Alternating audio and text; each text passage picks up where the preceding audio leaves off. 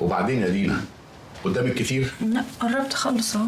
الله هو انت متضايقة عشان هتسيب البيت اللي عشتي فيه مع الكلب ده؟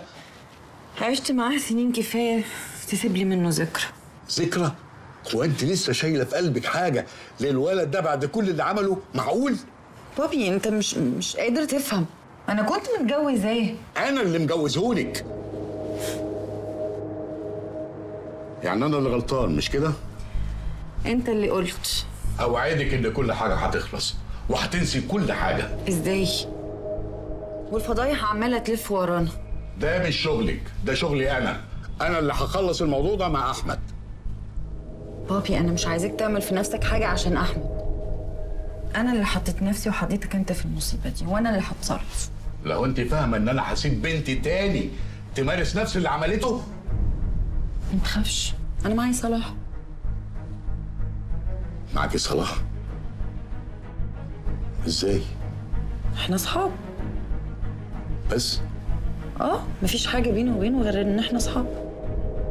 بس أنا حاسس يعني ان إيه؟ ان في حاجة تاني. لا يعني لو في حاجة يبقى من ناحيته هو مش من ناحيتي أنا. وبعدين أنا عارفة صلاح كويس هو كده. اول ما يحس نفسه لوحده بيبتدي يحب اللي حواليه. أنا متأكدة ان هو مش بيحبني قلت له الكلام ده؟ هقول له. لا. استني. بلاش تقول له دلوقتي. إيه يا بابي عاوزني افضل معلق إيه؟ صلاح يعرف عننا حاجات كتير وأنا مش عايزه يقلب علينا دلوقتي. أنا لسه متكلم معاه تحت قلت له شيلك من دماغه وأنا متأكد إنه هيعند سيبيه شوية. وأنا عارف إن هحتاجه قريب قوي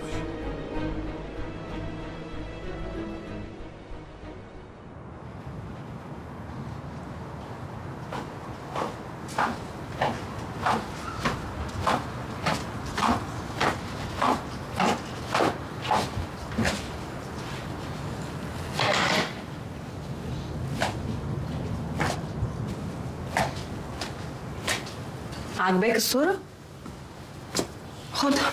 ما بقتش عايزاها. لا لا أنا مش عايز الصورة أنا بس يعني بتخيل نفسي لو كنت مكانه. عمري كنت هعمل فيك كده.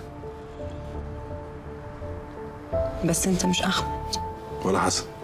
إيه اللي مفكرك بيه دلوقتي؟ كل واحد فيهم خاين بطريقته.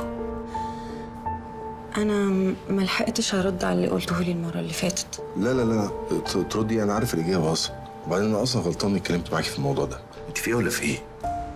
أنت هتسيبني لوحدي يا صلاح؟ سيبك إيه يا دينا؟ أنا عمري ما أسيبك. يا دينا أنا مستعد أعمل أي حاجة في الدنيا عشان أخليكي تخرجي من السجن اللي أحمد حطك فيه ده. بس إحنا مش هنقدر نثبت إن أحمد قتل نبيل. مش هنعرف نلويله دراعه بأي حاجة. صعب يا صلاح. لا نقول له دراعه ونخليه يعترف بكل حاجة. ولازم يجي لحد عندك. لا بص أنا مستحيل أقعد معاه في مكان واحد. ما تخافيش أنا مش هسيبك. يلا بينا دينا.